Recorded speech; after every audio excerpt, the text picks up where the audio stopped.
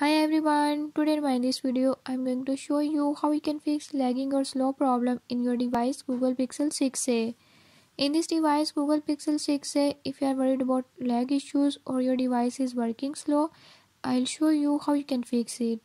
Before I start, if you are new to my channel, don't forget to subscribe and press bell icon. Watch complete video and learn how you can fix it. Let's